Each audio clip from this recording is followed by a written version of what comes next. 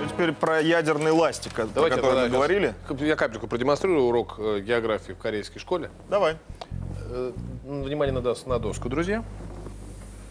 Был Сеул и, И нет, Сеул. и нет Сеула. Но это гипотетическая ситуация, потому что КНДР требует от Южной Кореи извинений за клевету о тратах на масштабные празднования столетия основателя республики Ким Ир Сена и грозит сделать то, что сейчас сделал Анатолий, уничтожить а, или взорвать Сеул. И э, такое неформальное, формальное, э, официальное сообщение от Центрального агентства новостей КНДР. Если Южная Корея немедленно не извинится за оскорбление, мы объявим им священную войну и все там, в Сеуле, взорвем.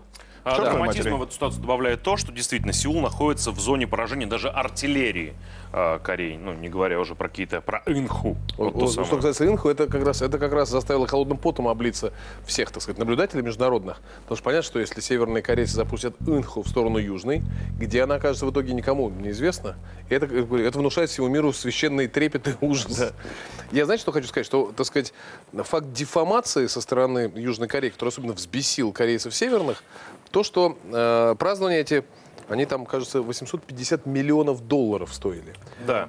В пересчете на, э, на, как это называется, на риса корейца, это там примерно лет шесть, когда у каждого корейца есть в достатке риса. И тут я вспомнил, что один из руководителей э, Северной Кореи говорил когда-то на большом, на большом собрании, что мы, говорит, мы будем жить счастливо.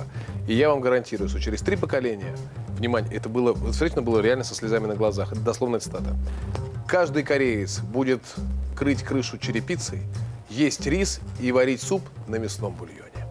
Сейчас вот до сих пор нет. И многие корейцы сказали в мясном бульоне. Что? Что это? Что Что такое мясо? Мам, что такое мясной бульон? Это, это так, так и было. Но мне кажется, что проблема в том, что южные корейцы, в силу того, что они уже, так сказать, в них, в них проникли все эти э, бигмаки с плевками, э, с плев- с плевками западной Не так сказать, внутри, ну, извините, проникли в них и разрушают их снутри. Они не поняли высокого и великого замысла северных корейцев. Я же А, говорю там абсолютно без высокий. шуток. Не просто высокий, он был бесконечно высокий, как гора Арарат. Какой? Замысел в чем? Конечно. Значит, э, северные корейцы умерщвляют плоть ради возвышения духа. Такая технология есть, так сказать, и даже западным людям она знакома.